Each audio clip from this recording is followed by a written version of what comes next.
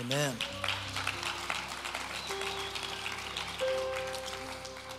Well, good morning. Good to see each one of you here today. And uh, we welcome those online, whether you're in person or online. Uh, we count it a privilege you've taken part of your weekend uh, just to share with us, to worship Jesus with us. And uh, man, I'm thankful for the presence of God that is here today. Aren't you grateful for that? And uh, we know that when two or three are gathered in His name, there He is in the midst of them. Amen. And so if you're watching online, we know God's going to meet you where you are. And uh, we know that the Lord is doing an amazing work in the people, in the hearts of the people.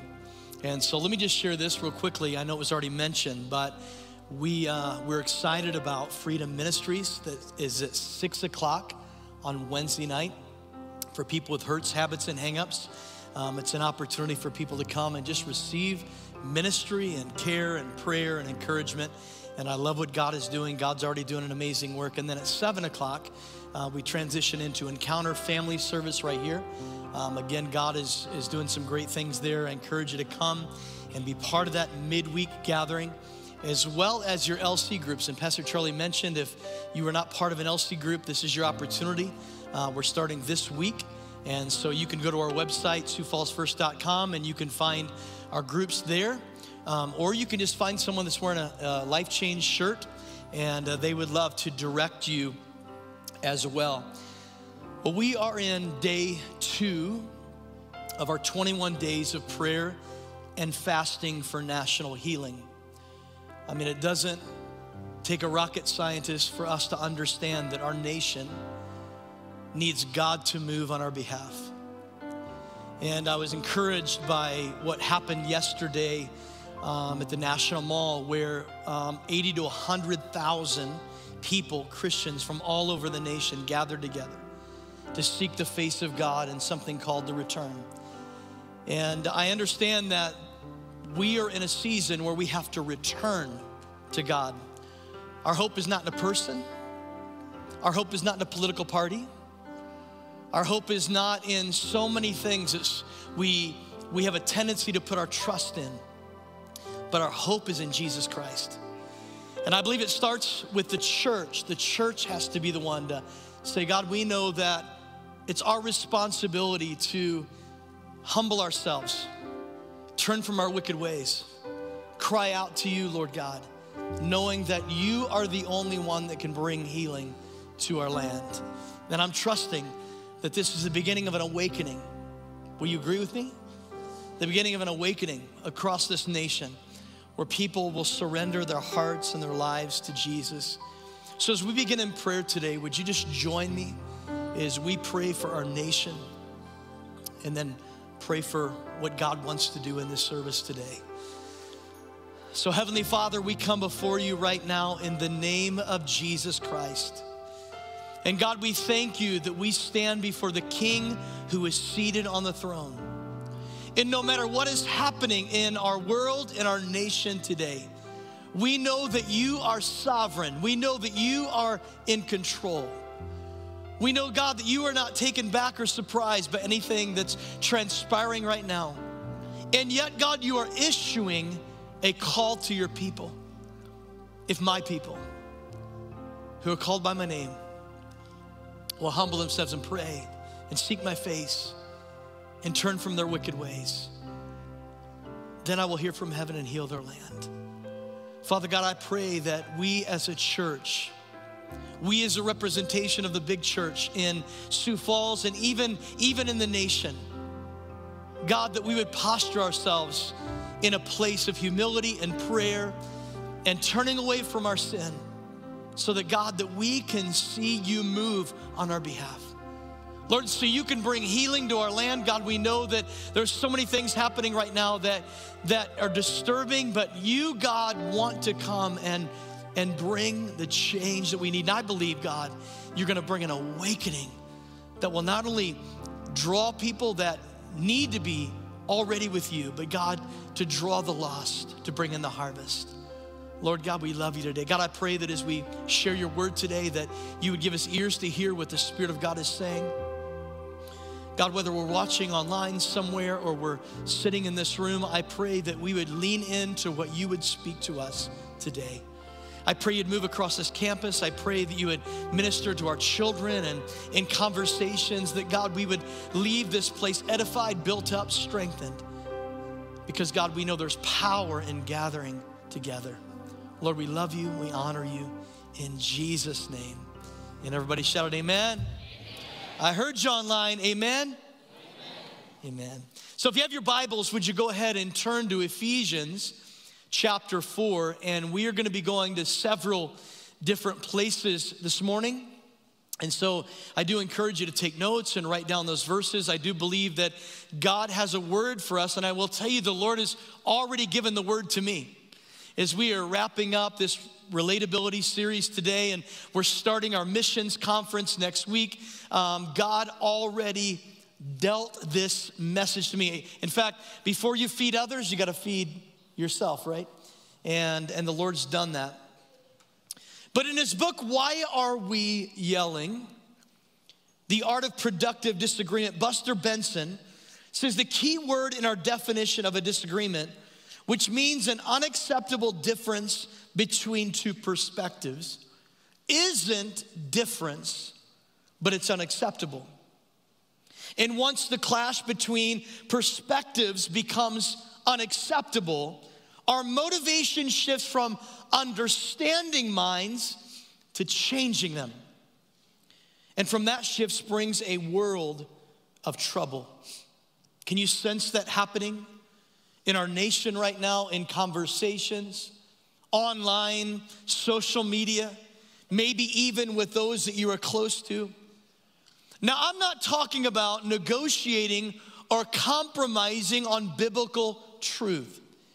In fact, we live in a time where we should defend truth more than ever. Jude says, contend for the faith. Truth is never on the table. And yet, there are many current conflicts today that are based on preference and opinion rather than truth. Have you heard anybody say, I'm not gonna die on that hill? There's some hills you don't need to die on. There's some hills that you do need to die on. But I believe a lot of our relatability and a lot of our interactions today are impacted, affected because we do not have this idea of understanding one another like we should. In fact, so many are fighting to be right rather than fighting for what is right. Obviously, truth, but also relationship. Remember, God has called us and He's entrusted us with the ministry of reconciliation. That God has called all of us to be a minister. In fact, turn to your neighbor and say, You're a minister.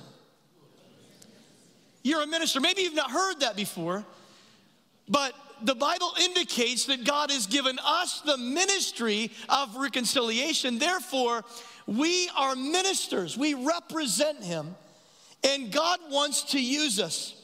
In fact, when we, we fight to be right rather than fighting for what's right, the focus becomes behavior modification rather than heart transformation.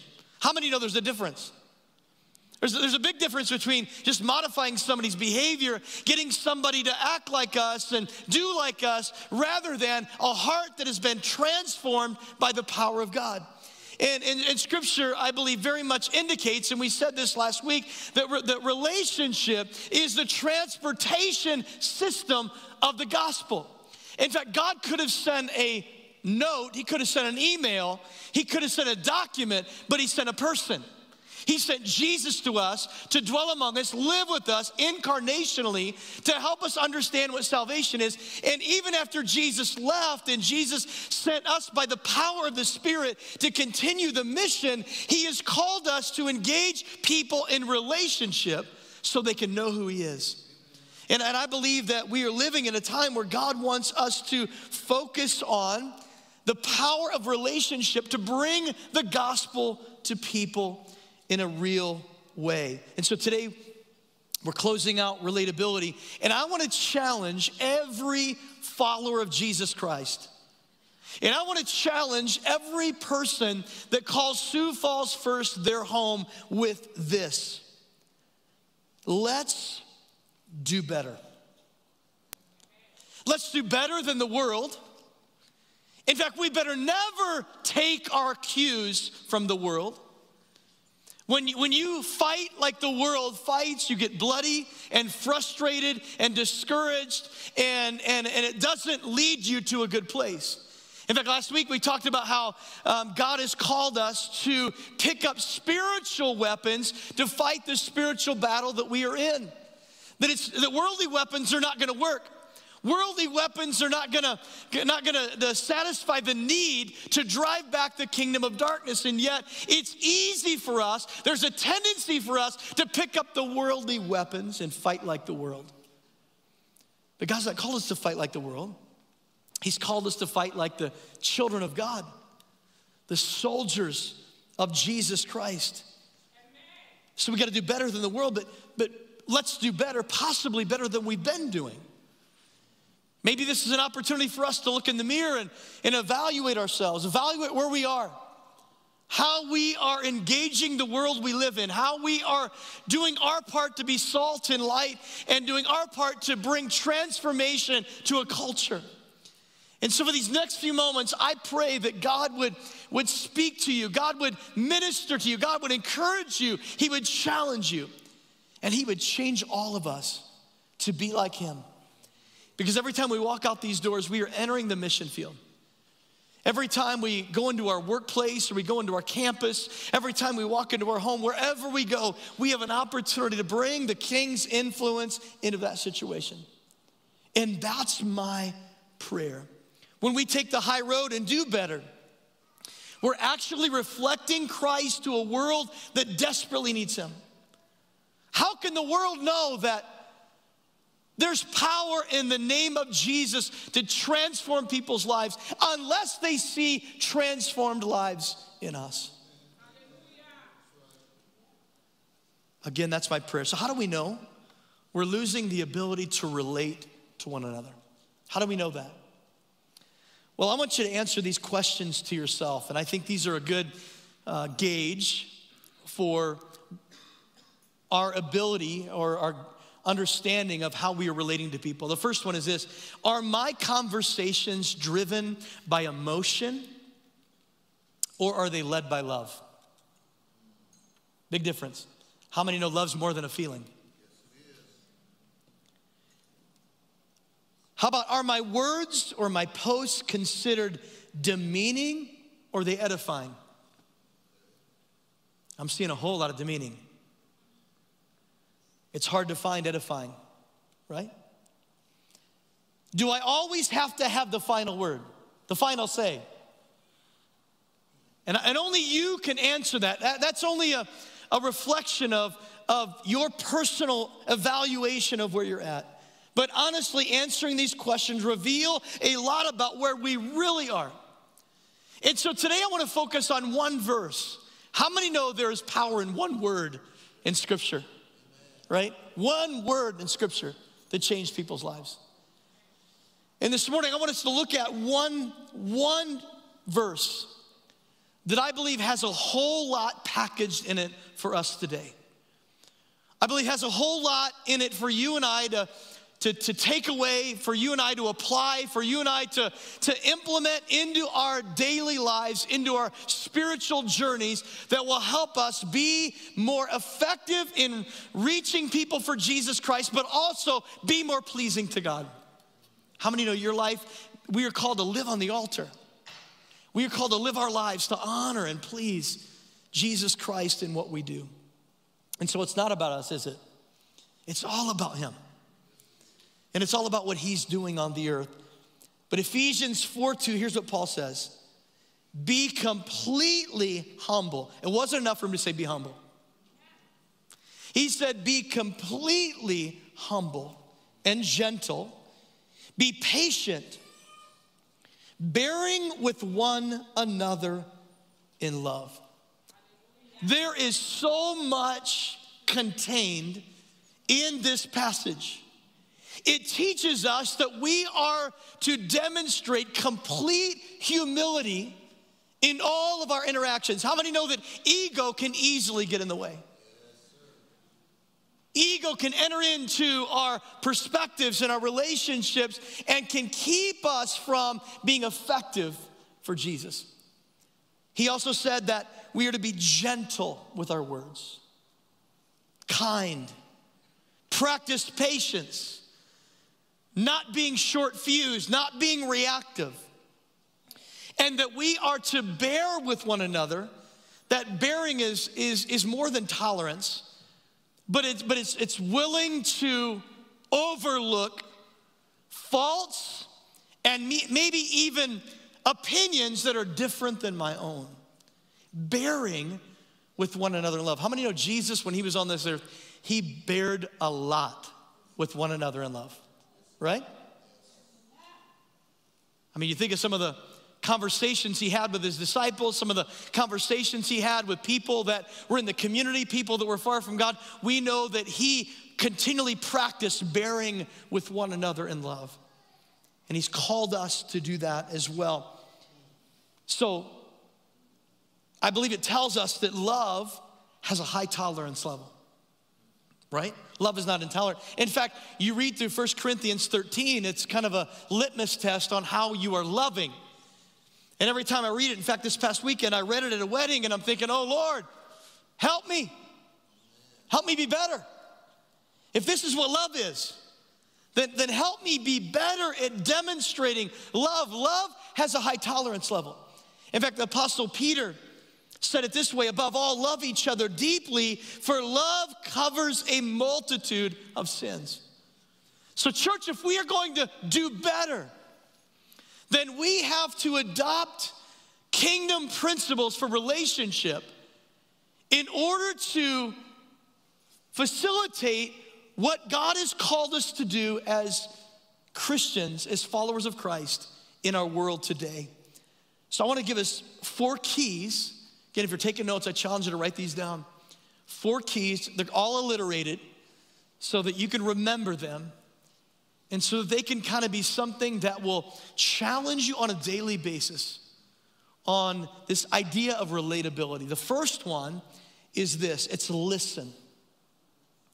How many know that people are involved in a lot of fast talking today? Fast posting. Only to have to clean up later, delete later, regret that I said that, regret that I made that remark. Because there's a human tendency for us to speak more than we listen. And that's why I believe Solomon said in Proverbs 18:2, he said, Fools find no pleasure in understanding, but delight in airing their own opinions. How many of you know we live in a season where we're seeing a lot of that? A lot of foolishness. People just airing their own opinions without understanding. The, the Bible indicates to us that for us to gain understanding, we have to be willing to listen. In fact, in her classic discipleship journal article, Janet Dunn explains it this way. Unfortunately, many of us are too preoccupied with ourselves when we listen.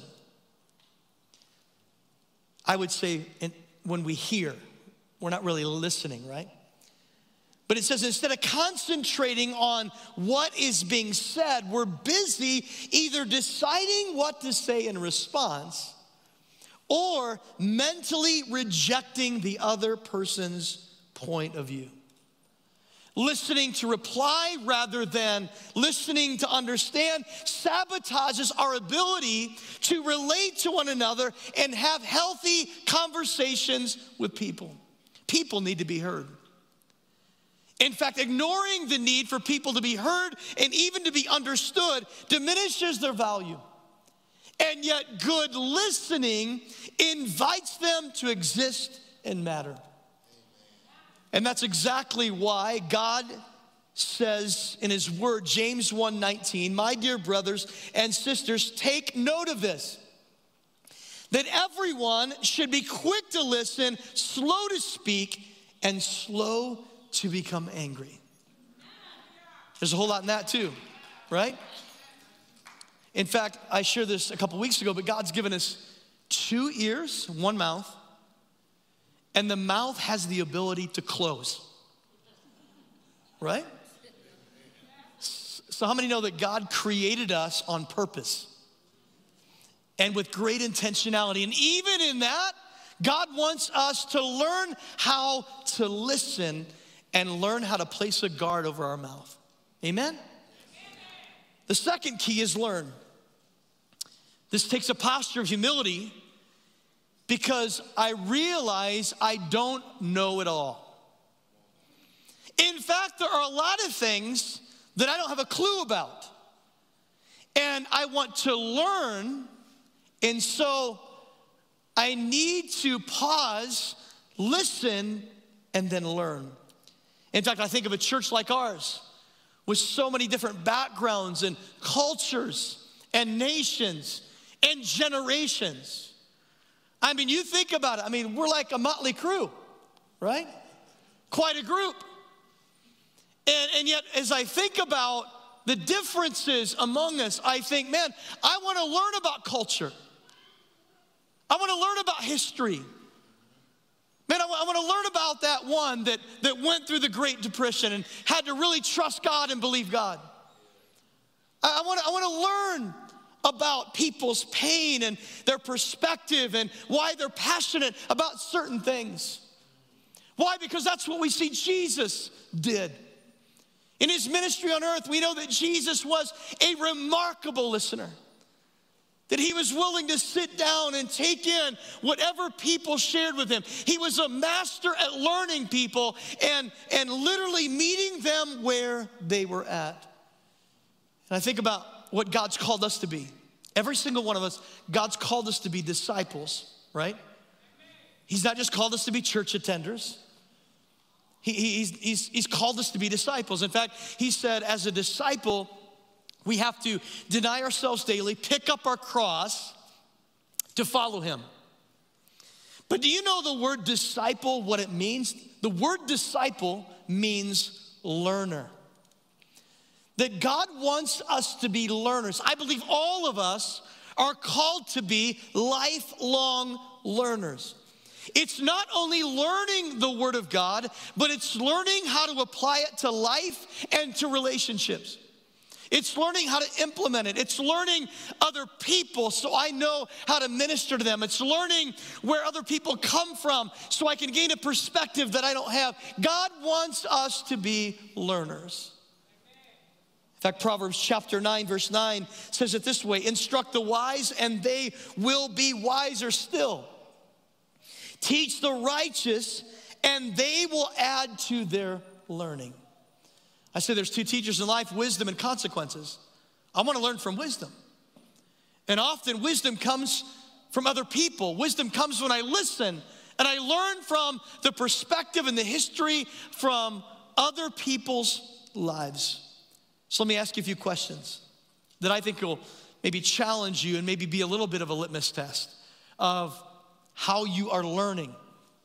Are you willing to ask people questions? Are you willing to ask them questions? Tell me more. Can you share a little bit more with me about that? Asking them a question about what they're, they're sharing. Can you be instructed? Are you teachable? In fact, a, a, wonderful woman came up at the end of first service and had the opportunity to pray with her. And she said, Man, years ago when I was in Bible college, she said, I remember this instructor told me this. And she goes, It's forever been in my mind. And even as you were sharing today, God brought that back to the forefront and, and reminded me that if you're not teachable, you're not usable. That usability is determined by your teachability. It's very similar to authority. You can't be over someone if you can't be under someone, right? You can't be in authority if you're not under authority. And, and, it's the same concept, the same principle that, that I have to be teachable if I'm going to be usable.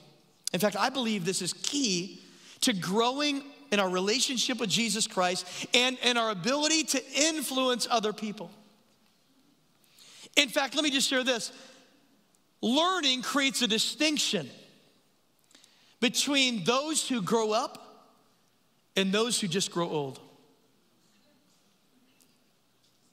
That all of us are growing old, right? We're all aging.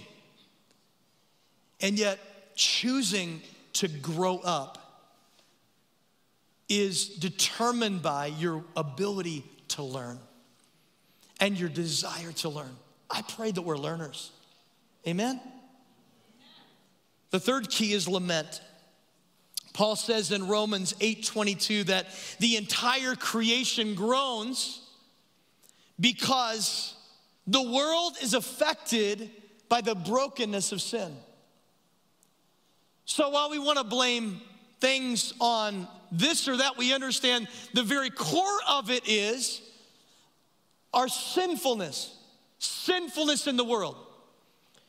So the sufferings of life, disease and starvation, addiction, loneliness, anxiety, racial injustice, and even death is a reminder that things are not right in this world.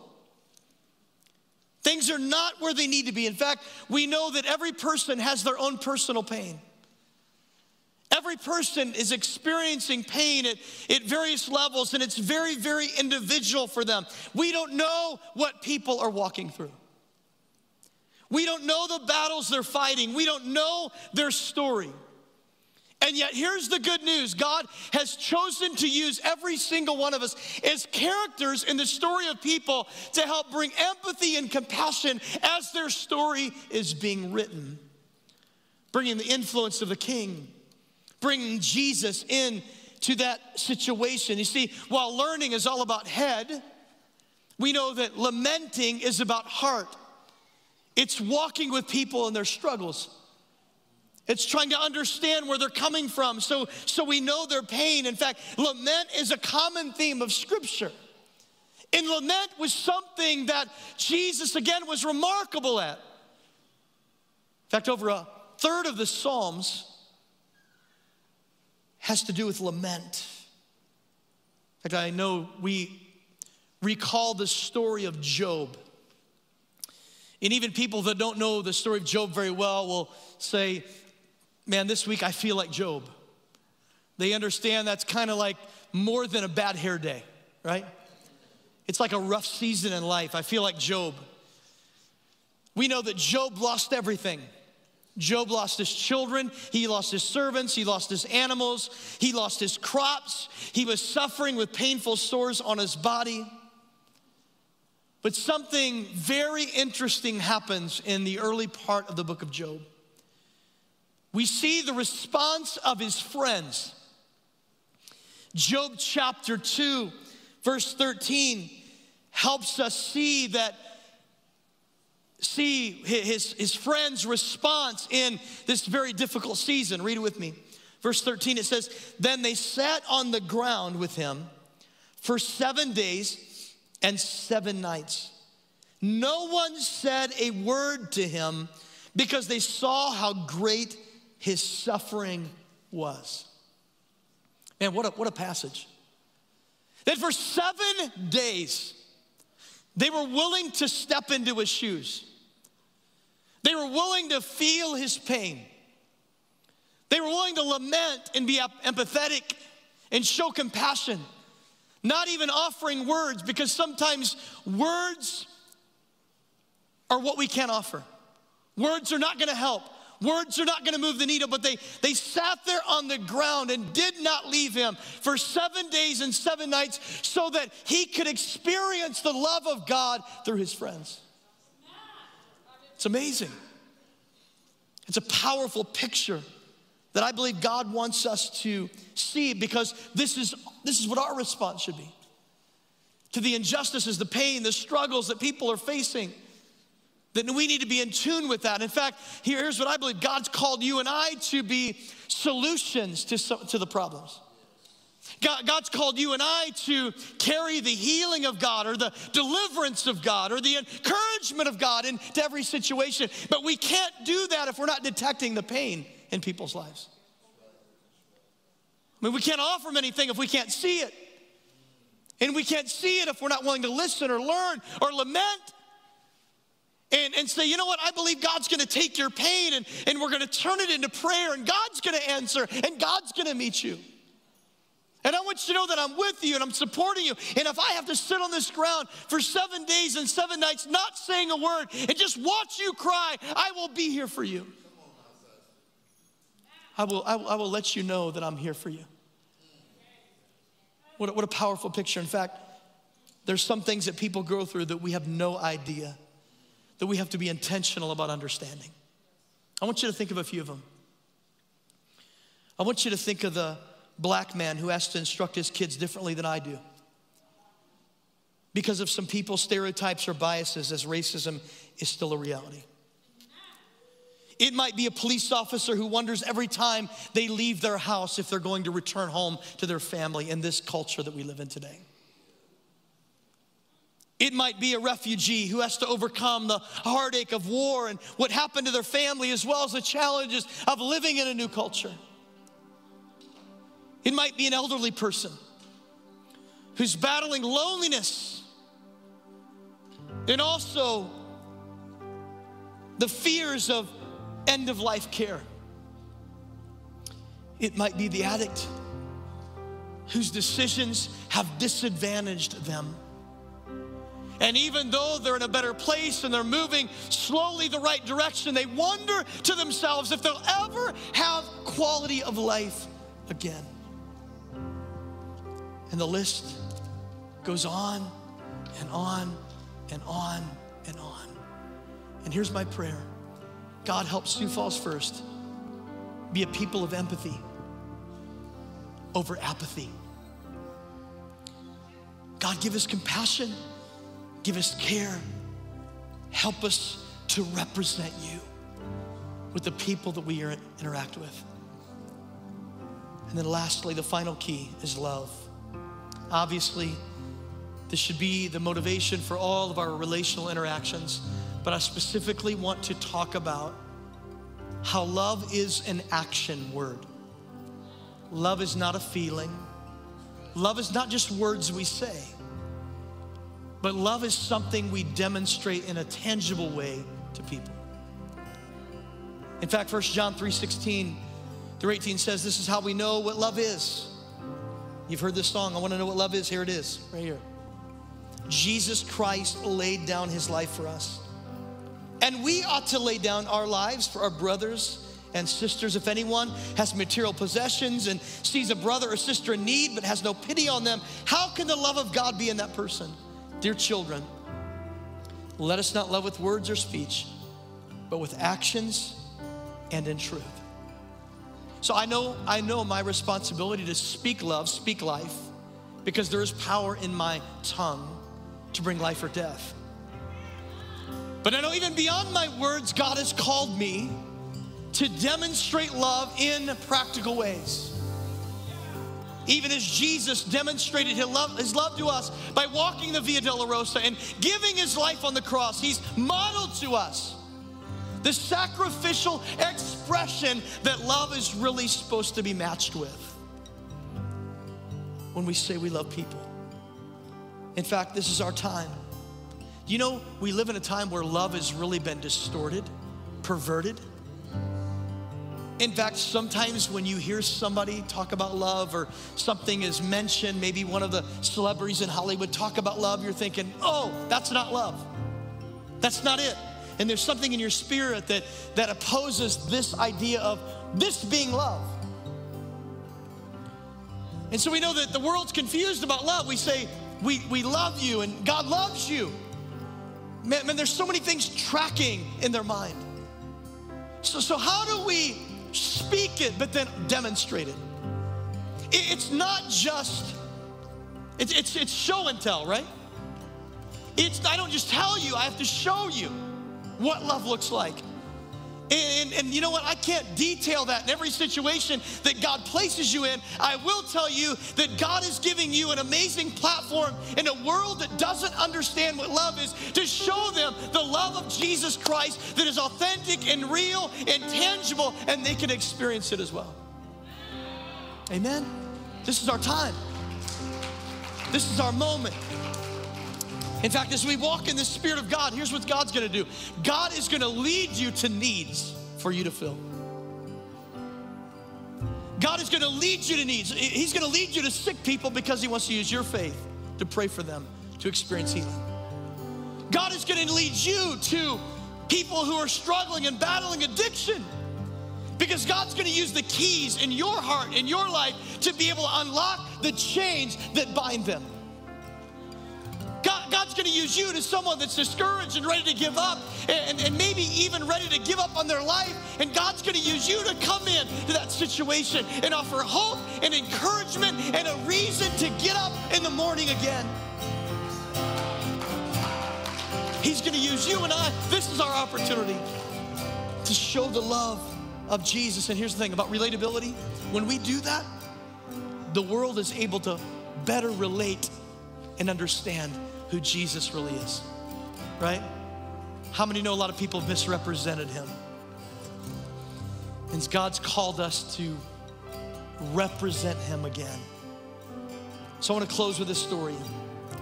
This moment in history. Some of you are old enough in this room to remember when this all happened. But in 1961, the Berlin Wall was built that separated Germany into two nations. Even the capital city of Berlin was divided, all because of communism. This invasion of communism upon these people. Well, eventually, communism became illegal, but the wall still stood. It wasn't until a year after it was illegal that the wall actually came down. And yet, in that middle season, in that process, there were some young people that became frustrated and discouraged by this representation of communism that had not come down yet. And so they came up with a plan. They all began to grab their pickaxes. And all these young people, this generation that said, we want to do away with this wall of division for good. We want to do away with this wall that separates, this wall of hostility, this wall that represents communism and oppression of people. And, and they begin to show up with their pickaxes. And one by one, these young people begin to swing away at this massive structure that they realize there's no way that I'm gonna even come close to taking this down, but I can do my section. I can do my part. I can do my area. And we know that eventually, 1989, about a year later, that the wall eventually all came down. And, and here, here's my challenge, church, that we know that the walls of division that exist in our culture, in our time, our day, are insurmountable. Man, when you think of COVID 19 and you think of racial division, you think of the political turmoil, you think of election year. I, I don't know about you, but I've been exhausted I've been exhausted. I mean, everything seems to have conflict, everything seems to be divisive. And we're looking at this huge, insurmountable wall and says, How can I even make a difference? And here's what God is saying Will you pick up your pickaxe? You can't do it all, but you can do something. You can do your part. You can take out your section. You can say, you know what, I'm not gonna allow division. I'm not going to allow relational separation. I'm not going to allow this, this conflict to continually be part of my life, but I'm going to be, I'm going to do what God's called me to do, and I'm called to be a peacemaker, and I'm called to the ministry of reconciliation, and God has called me to make a difference in the day that I live, even if it's just my section. So, church, would you stand to your feet right now? And if that's you, if you're saying, I want to be part of the, I want to be the answer, God, I want to be part of the solution, would you lift your hands in the air right now and begin to cry out to God and ask God to fill you with a fresh baptism of power that His Spirit would come upon you and realign your heart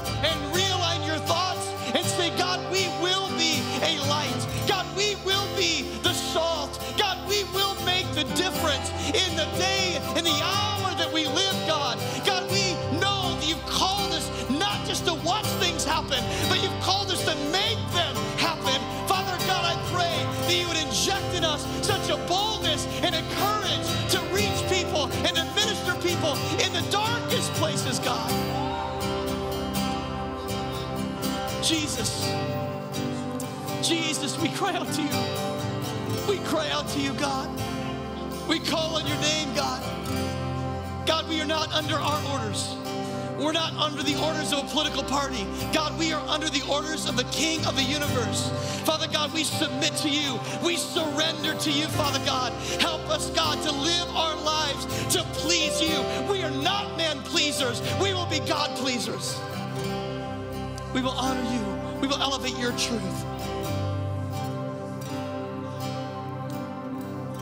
Father God, I pray in the name of Jesus that we would be a unified people, all swinging our Holy Ghost pickaxes to take down the walls of division that separate separate us even from one another, God. Lord, I pray that, Lord, the healing and I pray for the mending. And I pray the, the pursuing peace with all men. I pray that that would happen at the church first. I pray that we can lead the way. I pray that we can lead the conversation. God, we know people are, are seeking, they're searching, they're overwhelmed, they're discouraged, they're confused. Us to step into the light and do what you've called us to do. Heads bowed and eyes closed across this place. Also, speaking to those online today. Maybe you're here today and you don't have a relationship with Jesus Christ. Your relationship with Jesus Christ is something that was paid for because he went to the cross for you. And maybe you're here today and you don't have that. The Bible calls it eternal life, salvation, eternal life, which means you will spend eternity with Him. You won't have to question that if you surrender to Him now. Heads bowed, eyes closed, if that's you. That's you in this room, and you'd say, Pastor Quentin, that's me. I need a relationship with Jesus. Maybe you've been running from God. Maybe you maybe you've never never prayed the prayer before. Maybe you've been playing church. I don't know where you're at. But you're saying, I need a relationship with Jesus. It'll center me, it'll strengthen me, it'll help me navigate through this crazy world. That's you. I've not been living for him, but today I want to make that decision. I need Jesus Christ in my your, lift your hand real high. Anybody here? Anybody here say, that's me? Lift your hand real high. That's me. Amen. Amen. Hands, several hands. Several hands in the balcony as well. I'm watching you online as well. I know there's some of you that may say, that's me. So here's what we're going to do, and we're going to give instruction for those that are watching online. Whether you're in the room or online right now, would you just pray this prayer with me? If you raise your hand, and the entire church is going to pray this prayer as well. Dear Jesus, I thank you for coming to this earth, living among us, living a sinless life, so that you could go to the cross and die for us, so that we could live, so that we could have forgiveness of sin, so that we can have eternal life. God, I receive your gift today, and I now declare that I am a child of God. In Jesus' name, amen. Come on, let's celebrate those that gave their life to Jesus today. Yes, Lord. Yes, Lord. And we just want to say, if you prayed that prayer, welcome to the family. We're so glad you're in the family. There's nothing you have to do to prove yourself. You're in the family. He paid for it, right? And if you're if you're watching online, I encourage you, our online pastor, just put I prayed that prayer and, and they'll be they'll reach out to you. Or if you'd rather send an email to info at siouxfallsfirst.com and let us know you prayed that prayer. Because if you're living in a different place, we'd love to connect you to a church. If if you need material, we want to make sure you have material. If you're in this room today and prayed that prayer, um, I want to encourage you to go back to Next Steps area and, and let them know you prayed that prayer. And um, we love the opportunity to, to help you and you, as you begin your journey. Uh, you can also go online as well and, and let us know. But we're, we're grateful for what God did. I'd like to I'd like to real quickly ask our prayer team to come, and we're just going to close with a song of, of, of worship. in honor to God. But if you just come, if you, if you need prayer today, uh, we want to be we want to be sensitive to where you're at because you may feel like Job today, right? Maybe you didn't have it quite as bad as him, but maybe you feel like Job. Like I've, I've been through some things. You have some friends up here that are willing just to embrace you and pray with you and encourage you. And so, as we sing this last song, if you need prayer, please come.